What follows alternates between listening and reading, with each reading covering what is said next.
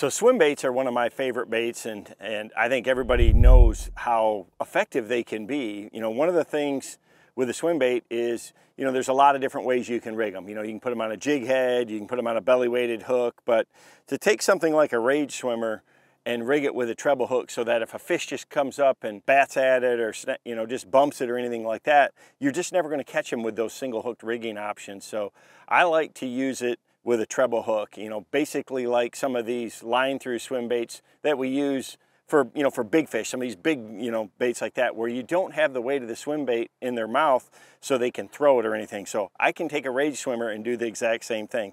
All I need is a hook that I use as a needle, a, a rivet, which is a stopper on the backside, and then a treble hook, and you know, you can add whatever weight that you want. So to start the process, and it doesn't matter, I mean, I can do this with any size rage swimmer. I use a 375, a 475, and the big one, the 575, a lot for this rigging option. So again, all you do first is just tie on a hook. And I just took a straight shank hook and cut it off. And it's all I'm basically is using this as a needle. So I just tie this on real quick to be able to thread this line through the bait. So I've got this tied to my rod. And again, you can use it with a bait caster, a spinning rod, just depending on the size of the rage swimmer that I'm gonna rig is how I'm gonna throw it. So right now I'm gonna rig a, you know, a 475 rage swimmer. All you do is just stick it into the nose and then I'm gonna have it come out just in front of that hook slot in the belly of it and then just pull that through.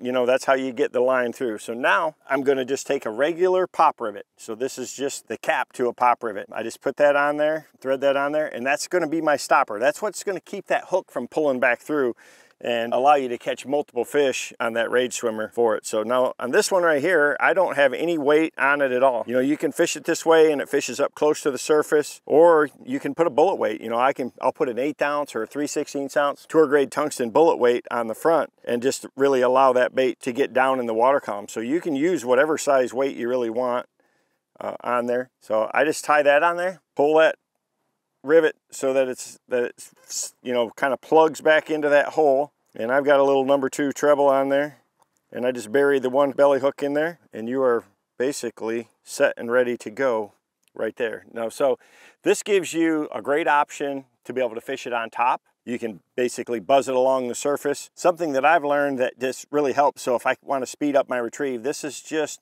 lead wire that you can buy at a fly tying shop just for wrapping around the hook. I can take this, a little bit of this, and put some on there, you know, just start wrapping it on there and put as much as you want. What this does, by putting a little weight on the hook itself, is it balances that hook out so that it's always going to end up on the bottom and keep that swim bait from rolling. So I put a little bit of lead on the hook, doesn't affect your hookability or anything like that. So every time that's in the water now, that having that little bit of lead on there is going to make that hook roll over and keep that thing uh, swimming in a straight line. So this is a, a great option right here to be able to, to rig a swim bait, a rage swimmer like this, and have an exposed treble hook. So it's really good for smallmouth bass, really good for spotted bass, but even good for largemouth. As long as you don't have heavy grass or wood or brush, this is the way that I'd prefer to rig it. You know, I mean, it's just a better option to get a better strike to land ratio with a treble hook than you would a single hook option. So, and again, you can do it with any size. They swim great, uh, works fantastic, and it's just a deadly, deadly combination.